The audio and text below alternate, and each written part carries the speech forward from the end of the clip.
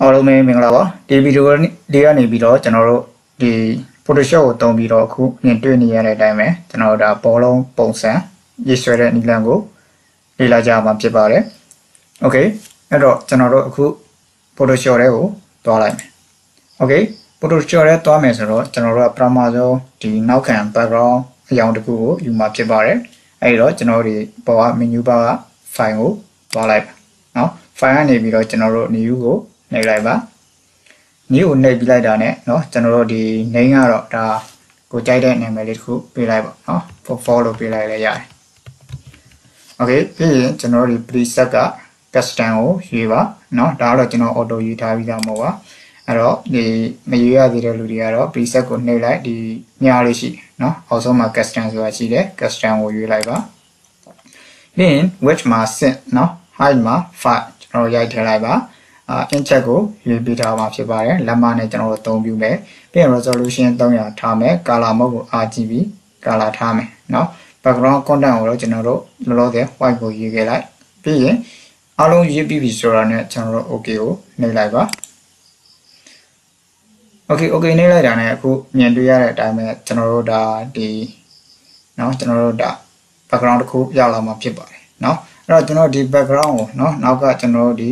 စိမ့်နုရောင်လေးတစ်ခုကျွန်တော်တို့ရွေးလိုက်မယ်เนาะမြက်ခင်းစိမ့်ပုံစံလေးပေါ့เนาะ okay ဟုတ်ပြီပြီးရတဲ့ကျွန်တော်တို့ကဒီဘက်ကကျွန်တော်တို့ဒီ2 bar မှာရှိတဲ့ paint package 2လို့ခေါ်တဲ့ကျွန်တော်တို့ကဒီစေးပုံးလေးကိုရွေးလိုက်ပါเนาะတချို့စေးပုံးကိုရွေးထားတာမဟုတ်ဘူးဆိုရင် right click ထောက်လိုက်ပါ gradient 2နဲ့ paint package 2ဆိုပြီးရှိတယ်အဲ့ဒီကနေပြီးတော့ကျွန်တော်တို့က paint package 2ကိုရွေးလိုက်ပါရွေးပြီးရတဲ့အခုကျွန်တော်ရွေးထားစေးအောင်လေးကိုကျွန်တော်တို့ကဒီ background ပေါ်ကိုကျွန်တော်တို့လောင်းချလိုက်မှာဖြစ်ပါတယ်လောင်းချလိုက်တဲ့နဲ့အခုမြင်တွေ့နေရတဲ့အတိုင်းပဲကျွန်တော်တို့အယောင်ပြောင်းလဲသွားတာကိုတွေ့ရမှာဖြစ်ပါတယ်။ Okay ဟုတ်ပြီအဲဆိုရင်ကျွန်တော်နောက်ထပ်ပါလို့မှာလဲဆိုတော့ကျွန်တော်တို့ဒီဘက်မှာ layer box ဆိုတာရှိပါတယ်เนาะကျွန်တော်တို့ဒီညာဘက်မှာပေါ့။ Okay ဒီ layer box မရှိတဲ့လူတွေကကျွန်တော်တို့ကဒီ view ထဲမှာเนาะ sorry ကျွန်တော်တို့ window ထဲမှာကျွန်တော်တို့ layer ဆိုတာရှိပါတယ် shortcut အနေနဲ့ F7 ကိုနှိပ်ပြီးလို့ရပါတယ်เนาะ အဲ့တော့ layer ဆိုတာလေးအမှန်ကြီးချက်ထားလိုက်ပါဒါဆိုရင်ကျွန်တော်ဒီညာဘက်မှာ layer ဆွဲပေါက်လေးပေါ်လာတယ်เนาะအဲ့ဒီကနေပြီးကျွန်တော်တို့အောက်ဆုံးမှာเนาะကျွန်တော်တို့ကဒီ create a new layer ဆိုတာလေးကိုအောက်ကသင်္ကေတလေးကိုကျွန်တော်ဒီချက်နှိပ်ပေးလိုက်ပါ layer တက်ခေါ်မှာဖြစ်ပါတယ်ဒီဟုတ်ပြီဒါဆိုရင်ကျွန်တော်တို့ layer ပေါင်းမှာ layer 1ဆိုပြီးတော့ကျွန်တော်တို့ပေါ်လာပါတယ်เนาะအဲ့တော့ကျွန်တော်တို့ကဒီ elliptical marquee 2ကိုတုံးပြီးတော့ကျွန်တော်တို့ survive mode တစ်ခုဆွဲပြရမှာဖြစ်ပါတယ်အဲ့တော့ elliptical marquee 2ကိုကျွန်တော်တို့ယူလိုက်ပါဒီယူပြီးတော့ကျွန်တော်တို့ center လို့ထင်ရတဲ့နေရာတစ်ခုကိုကျွန်တော်တို့ mouse လေးနဲ့တင်လိုက်ပါတင်ပြီးရတဲ့ရှစ်ရေ order ရေဖြည့်ပြီးတော့ကျွန်တော်တို့ဒါဖြည့်ပြီးတော့ကျွန်တော်တို့ဆွဲလိုက်ပါ okay အဲတင်းတင်းနဲ့အနေထားရအောင်ကျွန်တော်တို့ mouse ကိုလွှတ်လိုက်ပါ okay ဟုတ်ပြီ ပြီးရင်ကျွန်တော်တို့မလုပ်မှာလဲဆိုတော့အခုလိုကျွန်တော် selection circle ပုံ selection ဝင်နေတာကိုတွေ့ရမှာဖြစ်ပါတယ်เนาะပြီးရင်ကျွန်တော်တို့ကဒီ edit ထဲကနေပြီးတော့ကျွန်တော်တို့ face ဆိုတာကိုနှိပ်လိုက်ပါ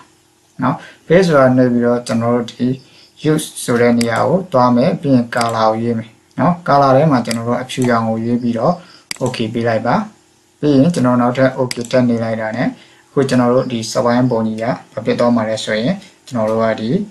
ဒီစဝိုင်းဖြူရောင်စကဲစဝိုင်းပုံကြီးဖြစ်တော့မှာဖြစ်ပါတယ်။ဒီပြီးရင်ကျွန်တော်တို့ layer ဘောက်ကိုတွားပြီးတော့ layer တက်ကိုထပ်ခေါ်လိုက်ပါ။ခေါ်ပြီးရနဲ့ okay ကျွန်တော်တို့ကဒီဒီ layer ထဲကိုဝင်မယ်နော်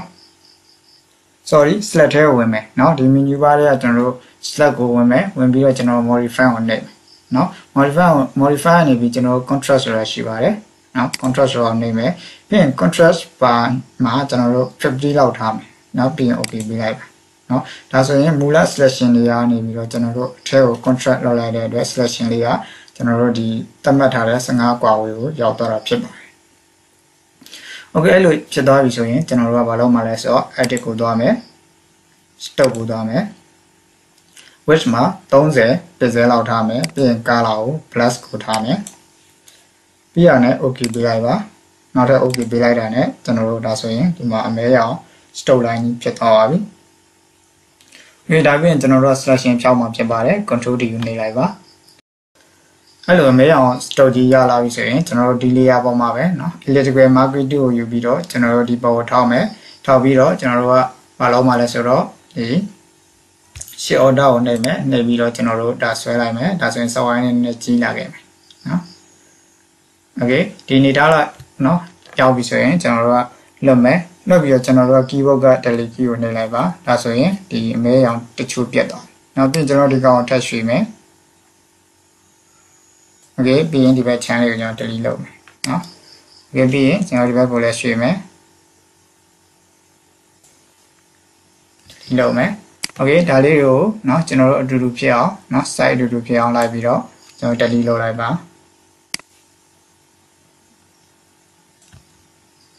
ဟုတ်ပြီပြီးရင်ကျွန်တော် control D ကိုနှိပ်ပြီးတော့ selection ဖြောင်းလိုက်ပါဟုတ်ကဲ့ပြီဒီလိုဖြစ်သွားပြီဆိုရင်เนาะကျွန်တော်တို့ကနောက်နောက်ထပ် layer တစ်ခုခေါ်လိုက်ပါ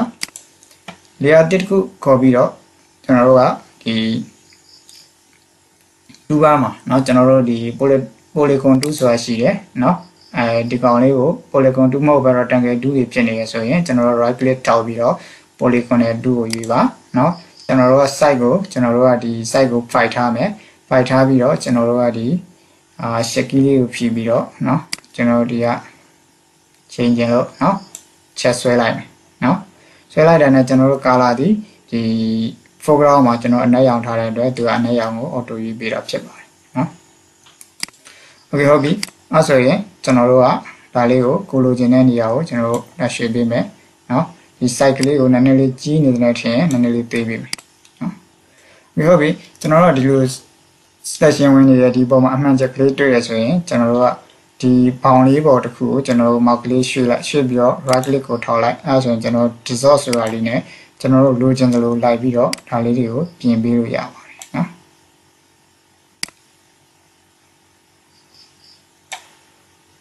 โอเค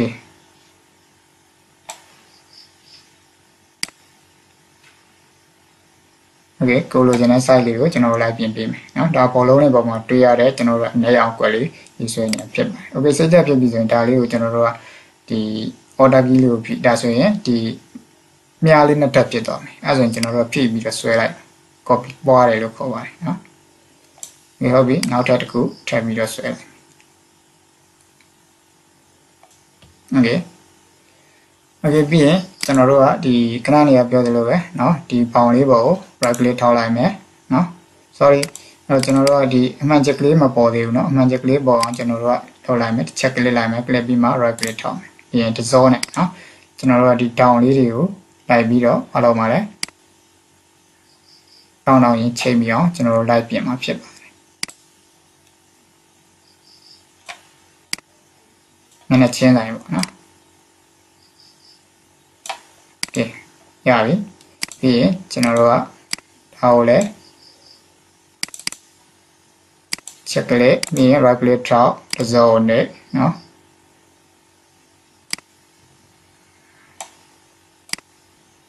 ထိတ်တိုက်ပုံစံလေးတွေနော်ဒီတောင်ဆုံးလေးတွေကိုတစ်ခုနဲ့တစ်ခုအဲ့လိုသွားမှဖြစ်ပါတယ်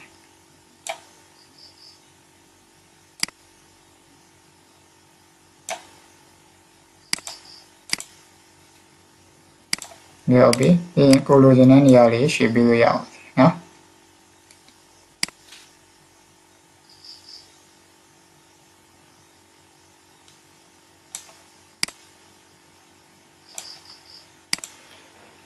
โอเคရသွားပြီเนาะโอเคရသွားပြီဆိုရင်ကျွန်တော်တို့ကဒီ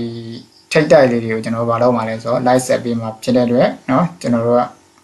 โอเคဟုတ်ပြီအဲ့ဒါမလုပ်ခင်ကျွန်တော်တို့ဘာလုပ်မှာလဲဆိုတော့အခုကျွန်တော်တို့ဒီအမဲရောင် layer တွေအားလုံးเนาะ layer 2ရယ်เนาะကျွန်တော်တို့ဒီ shape ဆိုတဲ့ layer တွေကိုကျွန်တော်တို့က select မှတ်လိုက်ပါ shape key လေးကိုဖြည့်ပြီးနှိပ်လိုက်ပါเนาะပြီးရင်ကျွန်တော် right click ထောက်ပြီးတော့ match layer layer တစ်ခုရဲ့ကျွန်တော်တို့ပေါင်းပေးလိုက်တာဖြစ်ပါတယ်เนาะပြီးရင်ကျွန်တော်တို့ layer တစ်ခုထပ်ခေါ်မယ် layer တစ်ခုထပ်ခေါ်ပြီးရင်ကျွန်တော်တို့ brush ကိုတုံးမယ်နော်ဒီမှာ brush 2 2က brush 2ရှိတယ်ဒီ brush 2လေးနဲ့နော်ကျွန်တော်တို့ကဒီ take ကလေးကို အာတစ်ချက်ကလေးလိုက်ပါ click ပြီးဒီဘက် take ကိုကျွန်တော်တို့မောက်လေးတင် shake ကလေးကိုဖြည့်ပြီးတော့တစ်ချက်နှိပ်လိုက်ပါ okay ပြီးရင်မောက်ကလေးတင်ပြီးဒီဆုံးလေးကိုတစ်ချက်ပြီးပြီးဆွဲမယ်ပြီးပြီးရင်ဒါလေးသွားမယ်နော်ဒါနဲ့ဒါနဲ့ဒီလိုသွားမယ်တောင်းနဲ့ဒီထောင်းနဲ့သွားမယ်နော်သူရထိတ်ထိတ်တိုက်ထိတွေ့ခိုင်းတာဖြစ်ပါ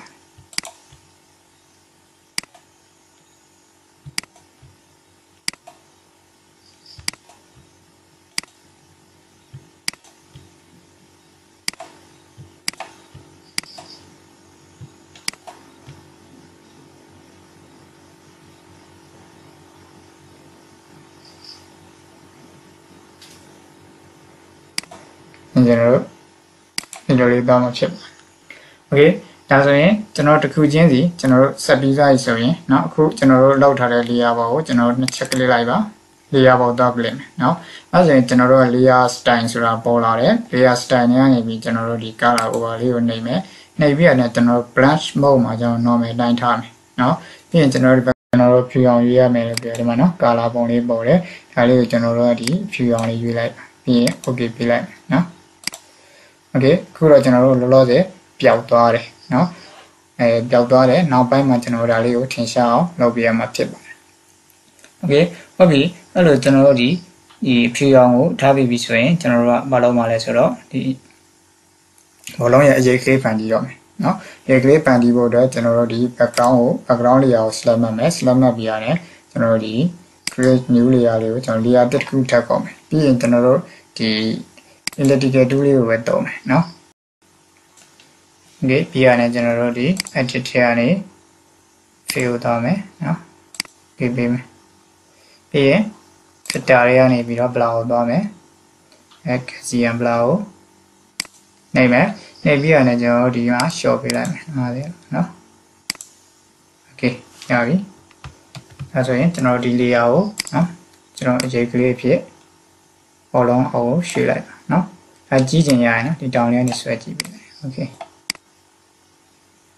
တဲ့တစ်ဘက်ကနေနေထိုးနေတာဖြစ်ဖြစ်မီးလုံးထိုးနေတာဖြစ်ဖြစ်ပေါ့ဗျာနော်အရေးပုံလေးရလာပြီโอเคဒီလိုအရေးကလေးရပြီဆိုရင်ကျွန်တော်တို့ဒီပါလို့တော့မှလဲဆိုတော့ဒီကြံတဲ့နော်ကြံတဲ့အရာတွေနော်ဘောလုံးကိုအလင်းတင်ပေးမယ်နော်အဘောလုံးကိုဘယ်လိုအလင်းတင်ပေးမှလဲဆိုတော့ကျွန်တော်တို့ကဒီဘောလုံးလေယာဖြစ်တဲ့နော် layer 1ပေါ့နော်ဒီ layer 1ကိုကျွန်တော်တို့ကဒီ ပြန်ပြီးတော့ရွေးပေးလိုက်ပါရွေးပေးပြီးရတဲ့ကျွန်တော်တို့ကဒီ image တွေဝင်လိုက်ပါเนาะ adjustment မှာကျွန်တော်တို့ကဒီ level ဆိုတာရှိတယ်เนาะ shortcut က control level ဆိုတော့နှိပ်လိုက်နှိပ်ပြီးတာနဲ့ကျွန်တော်တို့ကဒီ output level ကိုလောက်ပဲထားမှလဲဆိုတော့ကျွန်တော်တို့က240လောက်ထားပြီးလိုက် okay 240လောက်เนาะအဲ240ထားပြီးရနဲ့ကျွန်တော်တို့ကဒီမှာเนาะသူရခဏနေကဒီဆက်ထားတဲ့အကြောင်းလေးတွေကပေါ်လာခဲ့ပြီเนาะ okay 240လောက်ထားပြီးပြီထားပြီးပြီဆိုရင်အဲ okay ပေးလိုက်ပါเนาะပြီးရင်ကျွန်တော်တို့ကဒီနောက်ထပ်အဲ့ဒီ image တွေက adjustment ကိုနေနေပြီးတော့ကျွန်တော်တို့ကဒီ level ကို level သွားပြီးဆိုတော့ကျွန်တော်တို့ကဗာလဲဆိုတော့ဒီ color balance ပေါ့เนาะ color balance ကကျွန်တော်တို့ဒီ color level တွေကိုဘယ်လောက်စီထားပေးမှာလဲဆိုတော့ဒီ layer magenta ကို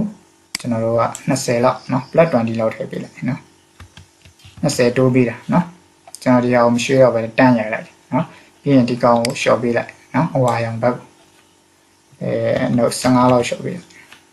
ပြီး okay ပေးကြည့်လိုက်နော်အဲဆိုရင်ဘောလုံးကသူက wall fan fan လေးကျန်သွားတယ်နော်ဘောလုံးရဲ့အရောင်ကလုံးဝပြူးပြူးဆွဆွကြီးမဟုတ်ပဲနဲ့ wall fan fan လေးကျန်သွားတယ်နော် okay ဟုတ်ပြီပြီးရင်ကျွန်တော်တို့ဒီ NS ရောင်ဖြစ်တဲ့နော်ကျွန်တော် NS ရောင်ကလူကိုကျွန်တော်သွားမယ်ပြီးရင်ဒီ mechanic mechanic magic 1 2ကိုယူလိုက်ယူပြီးတော့ကျွန်တော်တို့ select မှတ်မယ်ပြီးရင်အဲ shaky ကိုဖိပြီးတော့ကျွန်တော်တို့ select လိုက်မယ်နော် okay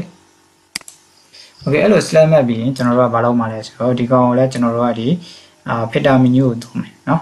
filter menu တွေကနေပြီးတော့ကျွန်တော်တို့ artist ထဲက artist ဆိုတာအနုပညာဆန်ဆန်ပေါ့နော်။ဘာတွေလုပ်လဲဆိုတော့ဒီပကြီးပုံစံတွေပေါ့။အဲ့ဒီကနေကျွန်တော်တို့ plastic web ကိုတွားလိုက်နော်။ plastic web ကိုတွားလိုက်တာနဲ့ခဏစောင့်နော်။အဲသူကရွေးလာပြီနော်။သူကဒီဖြူရောင် web ပုံစံလေးကျွန်တော်တို့ထည့်ပေးမှာ။အဲ့တော့ထည့်ပေးတဲ့နေရာမှာကျွန်တော်တို့ကဒီဘယ်လောက်တွေထည့်ပေးမှာလဲဆိုတော့နော်။အဲဒီ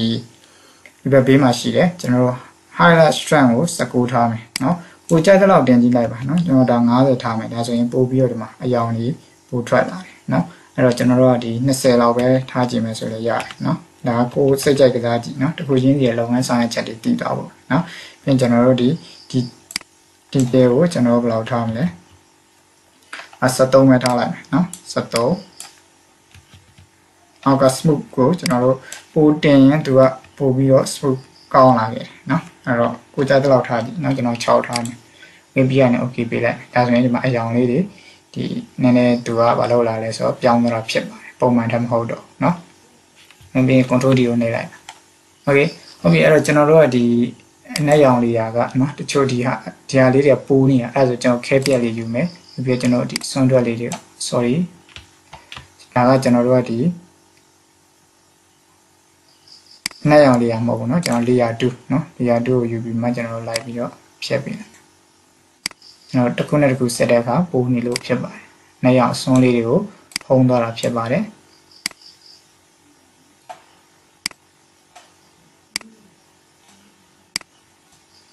အဲဆိုရင်တော့ကျွန်တော်တို့ဒါဘောလုံးလေးတစ်လုံးရဲ့ပုံကိုကျွန်တော်တို့ဒါရရှိလာဖြစ်ပါတယ် Photoshop လုပ်တဲ့အခါမှာကျွန်တော် design တွေဆွဲတဲ့အခါမှာစိတ်ရှိရှိနဲ့ကျွန်တော်တို့ကဒါ design တွေကိုဆွဲပြရတာဖြစ်ပါတယ်။ Okay အဲဆိုရင်တော့ကျွန်တော်တို့ဒီဘောလုံးတစ်လုံးပုံကိုရလာပါတယ်เนาะအဲ့တော့ဒီဟာလေးကိုကျွန်တော်တို့ကဒီ JPEG နဲ့ save မလားเนาะ PNG နဲ့ save မလားကိုကြိုက်တဲ့ပုံနဲ့ကျွန်တော်တို့ save ထားပြီးတော့ကိုလိုတဲ့နေရာတွေမှာအသုံးပြုလို့ရပါတယ်။ ် Okay အဲဆိုရင်တော့ဒီဗီဒီယိုလေးကိုကျွန်တော်တစ်လုံးနဲ့ပဲရှင်းထားလိုက်ပါတယ်เนาะနားမလည်ရရှိရင်ဒီ comment ကနေပြီးတော့ကျွန်တော်တို့မေးထားနိုင်ပါတယ်เนาะကျွန်တော်တနိုင်ဆုံးပြန်ဖြည့်ပေးနိုင်အောင်ကြိုးစားပါအားလုံးကိုကျေးဇူးတင်ပါတယ်